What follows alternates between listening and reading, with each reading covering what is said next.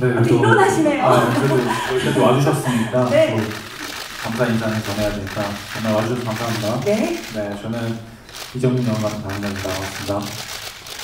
반갑습니다. 반갑습니다.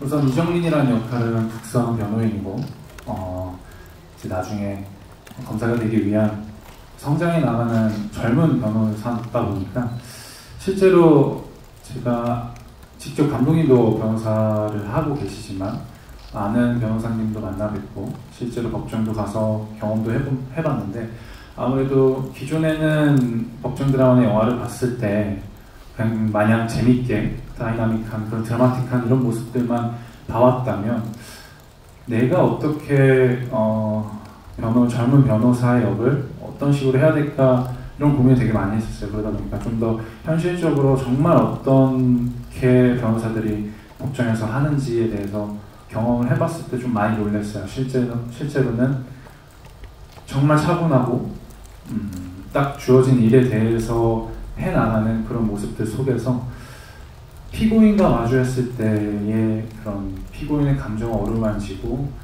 어, 대화하는 그런 차분한 모습들 속에서 이 사건을 맡은 사람으로서 앞으로 나아가는 그 어딘가에서 되게 고민하고 음, 이겨내야 된다는 그런 열정 이런 것들이 어, 갖고 있지만 법정에서는 되게 표현하기가 어렵 안 하시더라고요 변호사분들이 그런 부분에 있어서 현실과 그런 관객들로 하여금 공감할 수 있는 감정은 어느 정도일까에 대해서 되게 많은 고민을 했습니다. 그런 부분에 있어서 음, 과하진 않을까? 어, 관중들이, 관객분들이 느끼기 어렵지 않으실까? 이런 부분에 대해서 고민을 많이 했던 캐릭터고 어, 저는 이제 감독님께서 저를 처음 볼, 어, 캐스팅 해 주셨을 때 어, 저에 대한 이미지 그리고 어, 확신을 갖고 있지만 그 안에서 진실된 그런 모습들을 좋게 봐주셔서 그런 모습들을 표현하려고 애썼던 캐릭터였던 것 같습니다.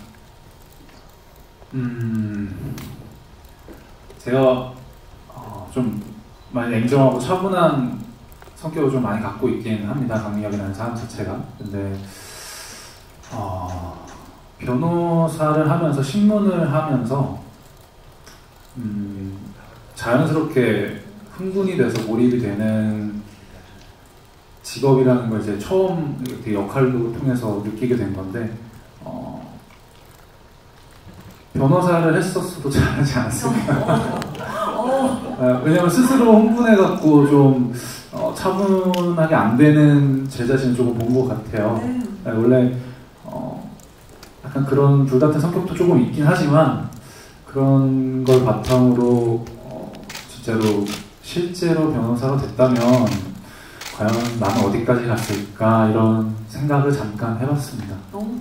네.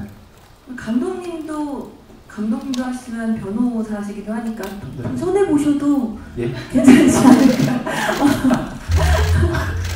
변호사님이 직접 계시기 때문에 네. 그냥 주제는 없는 말이지만 그런 생각을 잠깐 해봤다 정도만 예. 너무 멋있는 생각이었던 것 같습니다. 감독, 네, 어, 네, 발전하셨습니다. 네, 진행이 계시는데요. 어, 지금 가장 많이 프레시가 터지고 있어요. 반응이 가장 좋습니다. 자, 좋습니다. 우리 강력. 약속했어요. 아무 말 안 하기로.